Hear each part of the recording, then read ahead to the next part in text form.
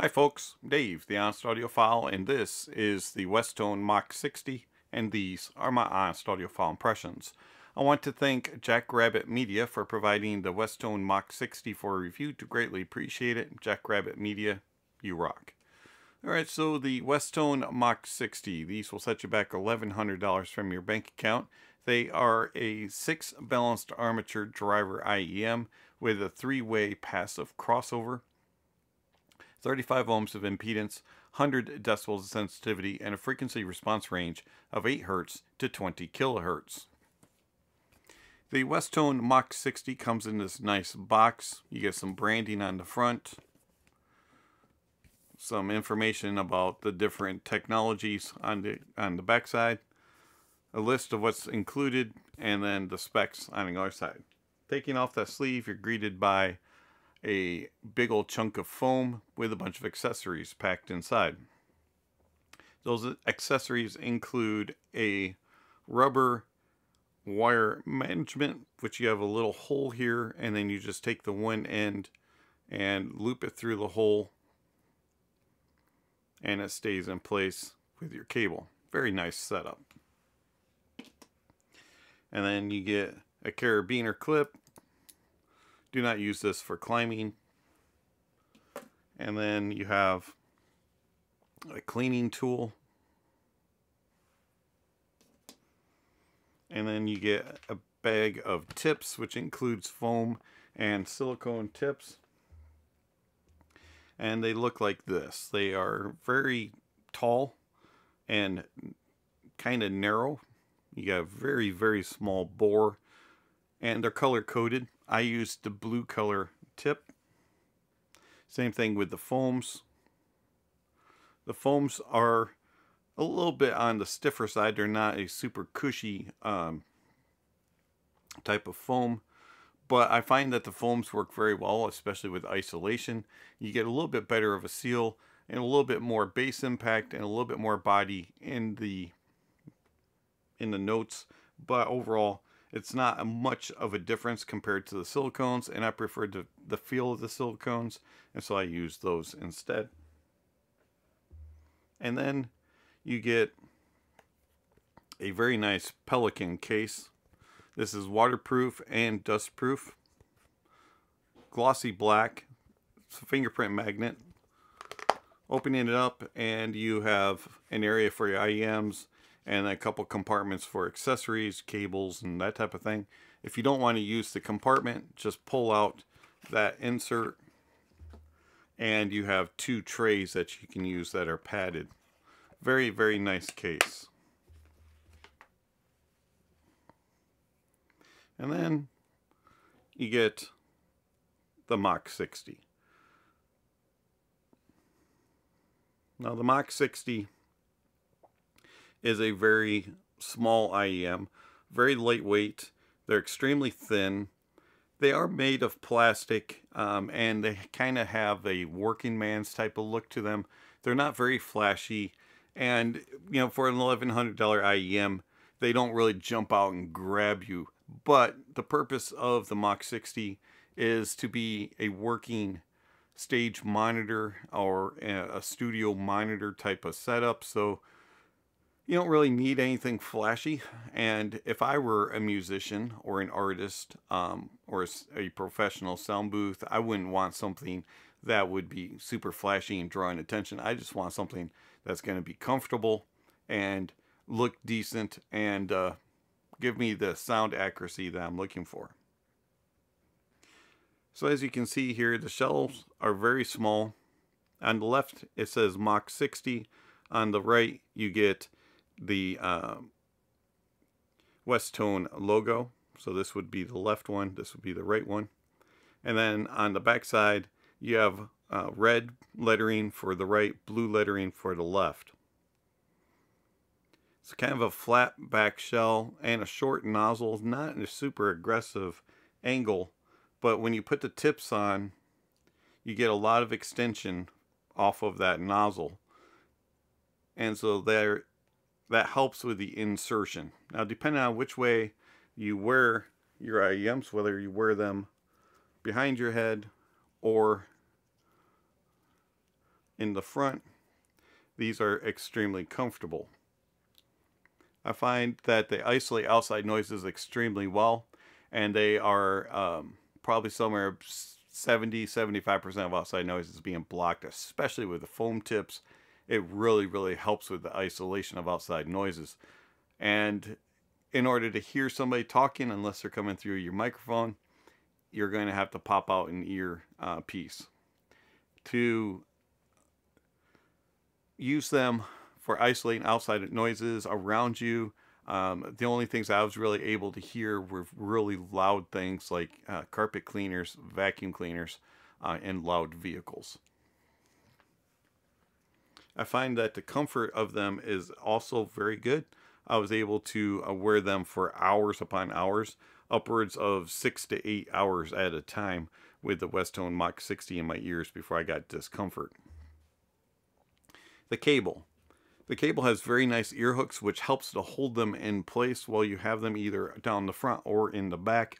Ear hooks are very well controlled, nice and thin, but at the same time, very nice tension, just enough to do their job properly. They do connect with a T2 connection, which is similar to an MMCX, but it is smaller, and I find that it's easier to connect and disconnect, and it's also more durable and stays put and doesn't break as much as an MMCX connection.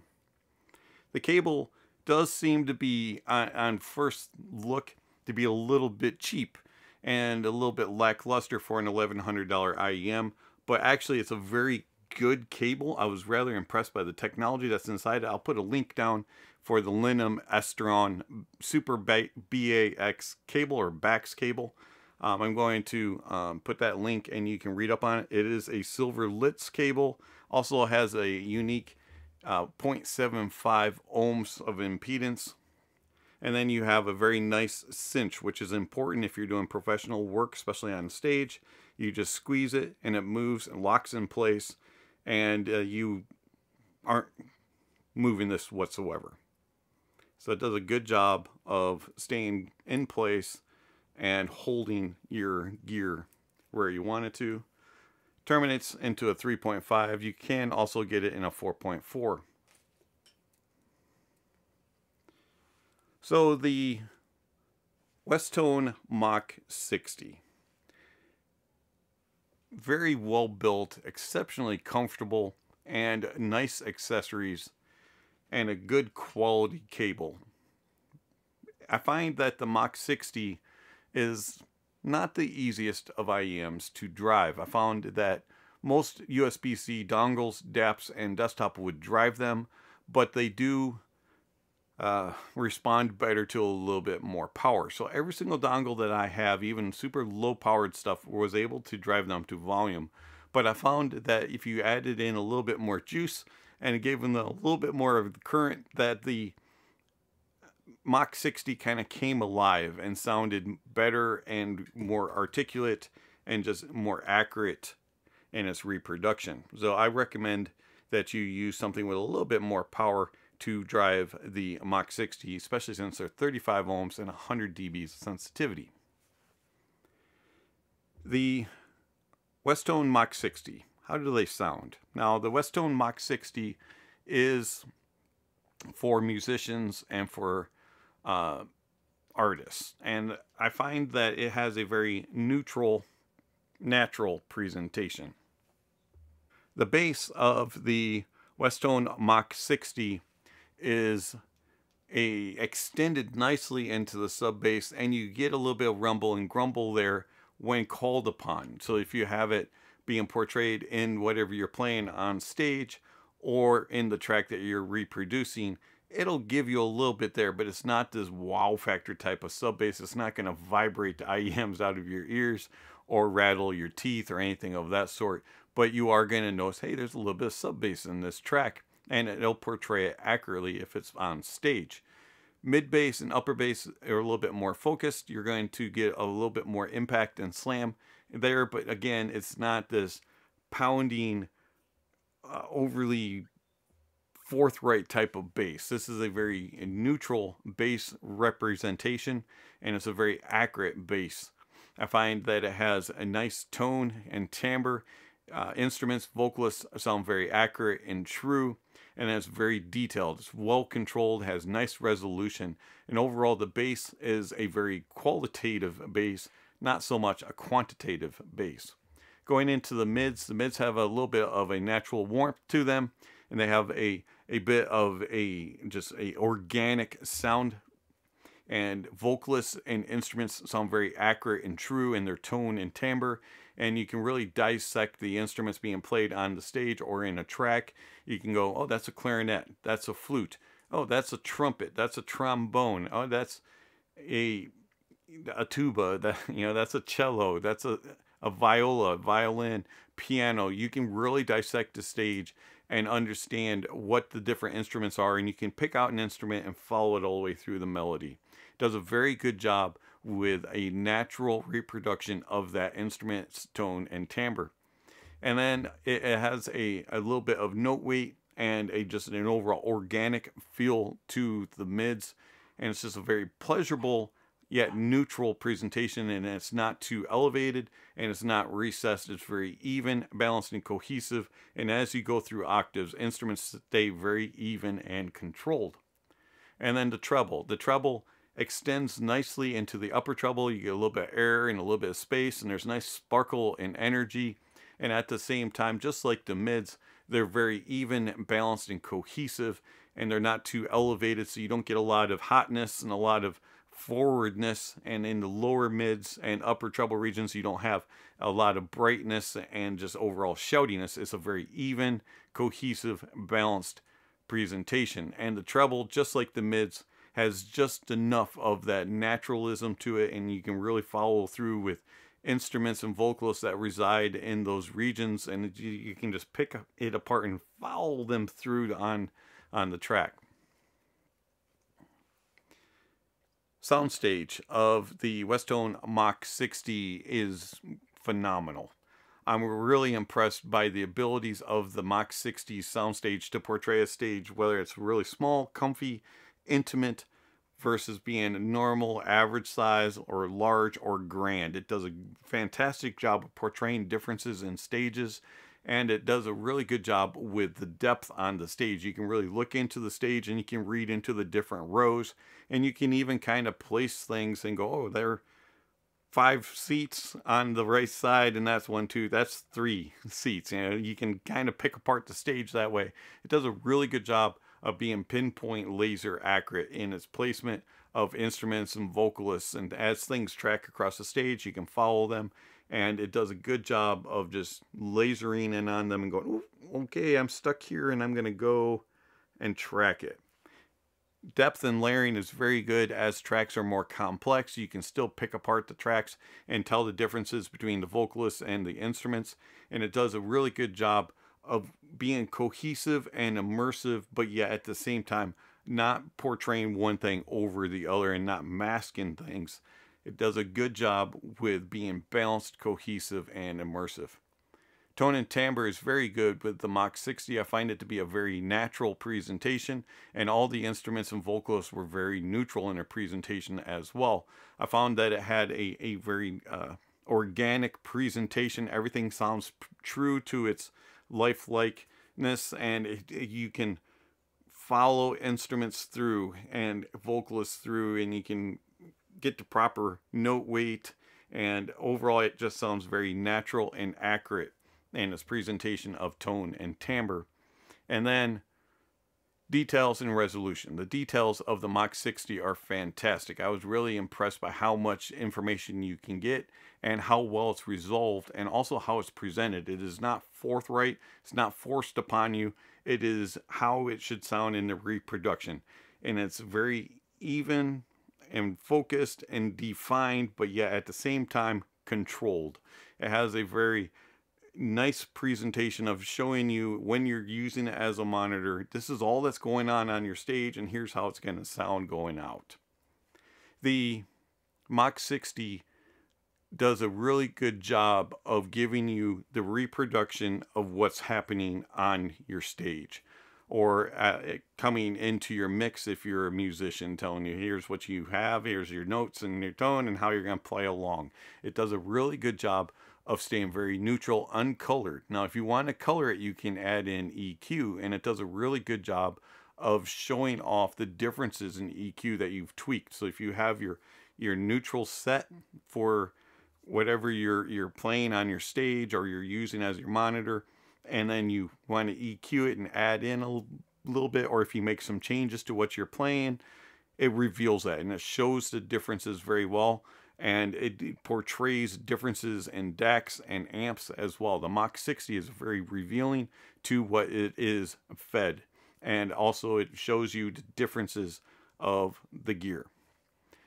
So how does the Westone Mach 60 compare to the ADV M512D. Now, the ADV M512D is a unique presentation in that it has a very large soundstage with very good depth and layering. The ADV M512D excels with its soundstage and placement. It's very immersive and very engaging.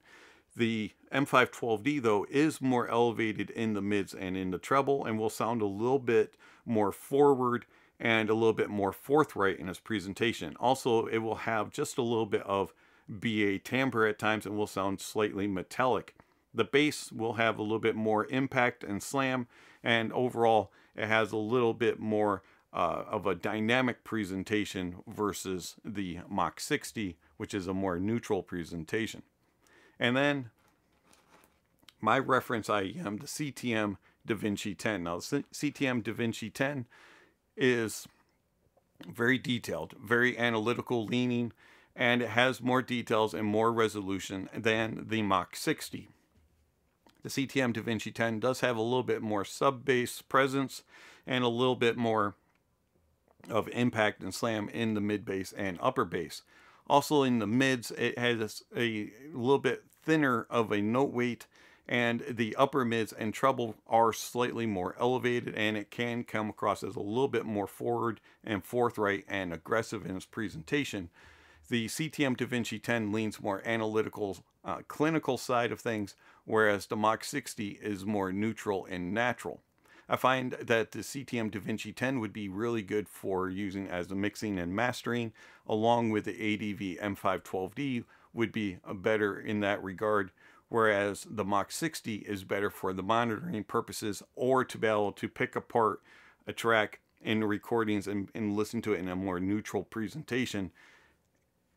So, should you get the Westone Mach 60? Now, first and foremost, $1,100 is a lot of money to ask. And on first, first look at the Mach 60, holding it in your hands and, and seeing the plastic build and the, the thinner cables and things like that, you might be turned off and be like $1,100, you should be getting a lot better quality build. But after you really feel them and use them, you'll realize that it is very well built and very quality built and it's purpose built for what its purpose is, which is a stage monitor. And if you are a professional or something somebody who is trying to get into the professional world as an artist or a musician, the Mach 60 would be a very good tool to help you um, along your way as a monitor, as it's very uh, neutral, very natural reproduction, also very detailed, and just does a good job of portraying everything around you in the more neutral and natural presentation. If you're looking for an IEM that's going to give you a little pizzazz, you're going to get some more dynamics, you're going to get a little punch and slam, a little sparkle energy up top, and it's going to be a little bit forward in the mids, and, and you have this very immersive and engaging type of soundstage. The Mach 60 is not going to be for you. You're going to find it to be a little bit boring and dull and a little bit too neutral. But if you're looking for a neutral, natural presentation as a regular listener, and you want the the true guts of a reproduction of a track, I recommend the Mach 60. It's been Dave, the Honest Audiophile. Thank you for watching and I'll catch you on the next video. Speaking of next video, somewhere on screen, subscription links, notification bells. If you haven't already, please check those off. Don't forget to give a thumbs up or a thumbs down to the video and check out all the links down below. There's all kinds of information down there regarding how you can contact channel, follow channel, support channel, all that kind of stuff listed down below. Speaking of supporting channel, I want to thank my su- subscribers and supporters through Patreon and YouTube memberships. It's much appreciated all that you give to the channel. Thank you very much. If you're interested in supporting the channel, there's various ways that you can do that through one-time gifts with PayPal and Venmo, or you can do monthly subscriptions through Patreon and YouTube memberships. Uh, monthly subscriptions, you can get access to my private Discord servers, early access to videos, and all kinds of other sorts of things. So check out those links down below if you're interested in supporting the channel. It'd be much appreciated. And also check out the other links. There's uh, information regarding music recommendations, gear recommendations, and all kinds of other things. So check out the links down below. And lastly, don't forget to enjoy the music and that honesty is the best policy.